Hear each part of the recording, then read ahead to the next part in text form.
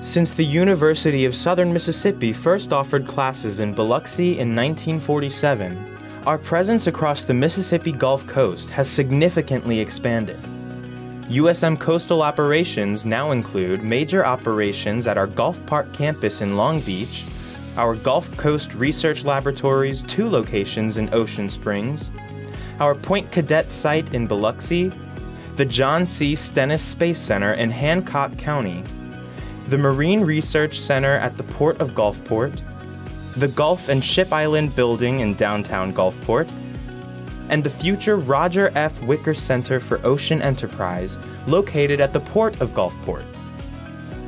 USM is providing programs that support market, geographic, and workforce demands through three distinct schools.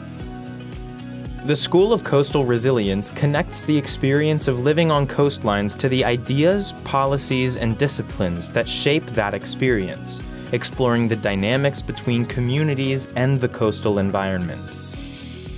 Our School of Leadership prepares students to succeed in the business world by offering innovative coursework, partnering with organizations, and fostering a spirit of entrepreneurship and collaboration. Students in our School of Ocean Science and Engineering are exposed to cutting edge technologies and field based educational experiences, providing them with the skills necessary to obtain jobs in marine related fields. USM is positioning the Mississippi Gulf Coast as a global leader in ocean and maritime technologies. Our Gulf Blue Innovation Initiative pools the knowledge of research scientists, federal and state agencies, business and industry partners, and entrepreneurs to drive economic growth.